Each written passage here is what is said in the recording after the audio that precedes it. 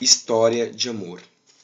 Num dia, para lá dos tempos e para cada eras, encontraram-se todos os que eram apaixonados por aquela mesma mulher. Disse o escritor: Eu te descreverei o mundo de mil formas diferentes. Disse o cozinheiro: Quando ela se cansar de teu palavreado vazio, eu a alimentarei com meus acepipes. Disse o farmacêutico: quando ela adoecer de teus alimentos, eu lhe prepararei uma poção.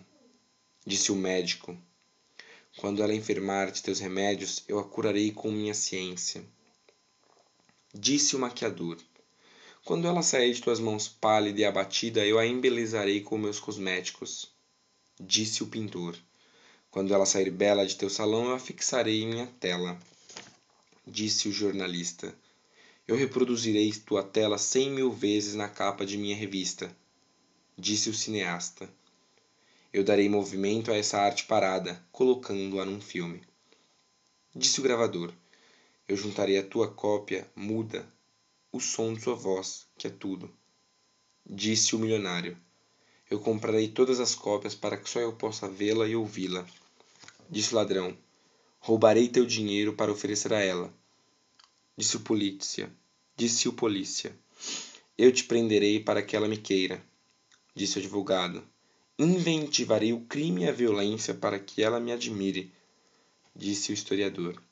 Registrarei na história o crime e o castigo, e lhe explicarei a ela, a sós, o sentido da vida.